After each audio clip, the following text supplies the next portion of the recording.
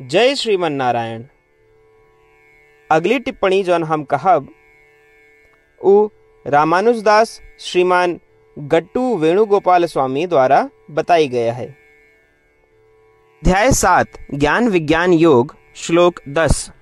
बीजं माम्।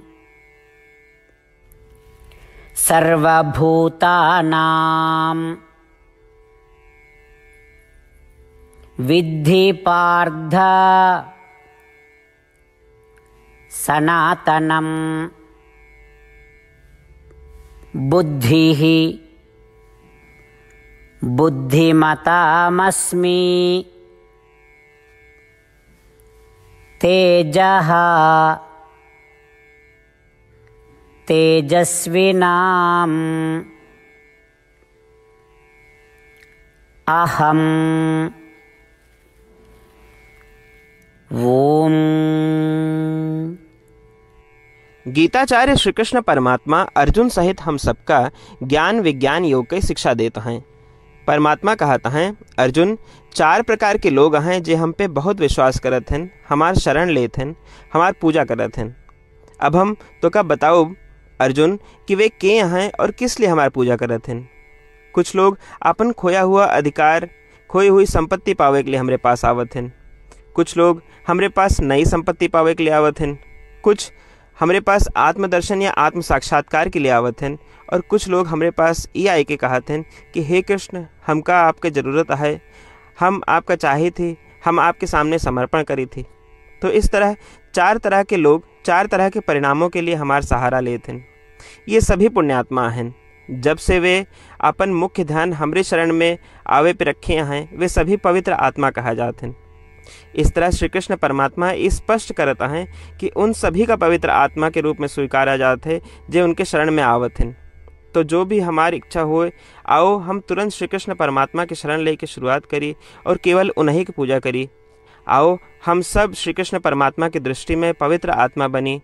ऐसे अभ्यास या साधना का तुरंत प्रारंभ करते हुए आओ हम श्री कृष्ण परमात्मा के शब्दों का यथावत दोहरावे का प्रयास करी।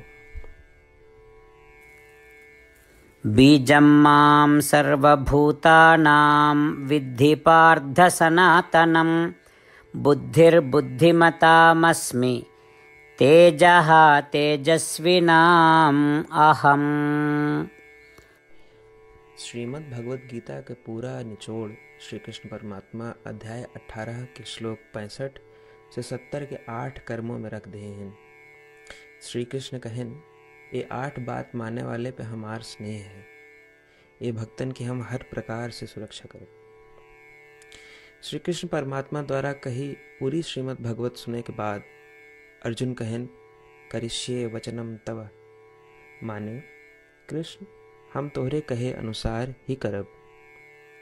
यह कारण कृष्ण अर्जुन पे हर तरह की विजय और सफलता के अनुकंपा करें चला हमो परमात्मा के वचन दी कि हम भी ये आठ कर्म करब। ये वचन से बढ़ के कोनो पूजा, तप या यज्ञ नहीं बा। हम ये आठ वचन कहब, आप सब जने एक अपने मने और बुद्धि में विचार करें। इस प्रकार श्री कृष्ण के निज वचन देत समय परमानंद से प्रकाशित श्री कृष्ण के मुखमंडल के अनुभूति भी करें। जय श्रीमन नारायण हमारे आठ वचन ई हैं। हमार प्रथम वचन, हे श्रीमन नारायण आपके निर्देशानुसार हम आपके ध्यान और चिंतन करब। हमारा दूसर वचन, हे श्रीमन नारायण आपके समझाए अनुसार हम सदा आपके भक्त रहब। हमारा तीसर वचन, हम अपन सारा कर्म, आपके संतोष और सेवा के लिए ही करब। हमारा चौथा वचन जैसा आप कहें। हमका पूरा विश्वास है कि हम आपके हैं और हम सदा आपका करबद्ध नमस्कार व पूजन करब हमारा पांचवा वचन हे श्रीमन नारायण अध्याय अठारह श्लोक छाछठ में आपके कथन। मामेकम शरणम ब्रज अनुसार केवल आपकी शरणागत की बात कही बा। श्रीमन नारायण हम केवल आप शरण में आए हैं। हमारा छठा वचन, हे श्रीमन नारायण अध्याय अठारह श्लोक छाछठ में आपे कहे, माँ शुच। मैं आपके शोक न करे के उपदेशानुसार हम शोक न करब। हमार सातवां वचन, हे श्रीमन नारायण आपने हमरे खातिर श्रीमद् भगवत गीता दे के हम पे बड़ी कृपा की है। हम नियम से एक श्लोक रोज सुनब या पढ़ब। हमारा आठवां वचन। हे श्रीमन नारायण आपने सारे लोग के लिए गीता दी है।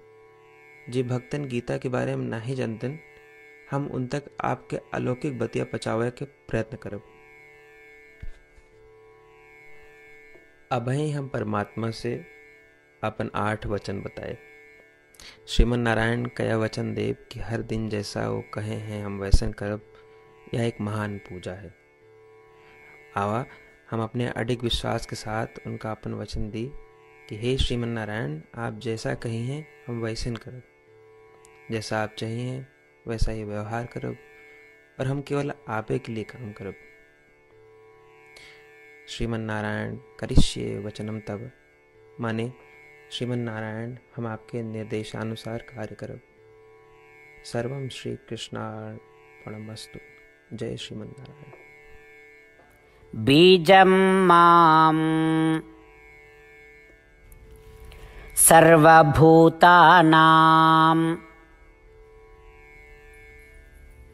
विद्धि पार्थ सनातनं बुद्धिः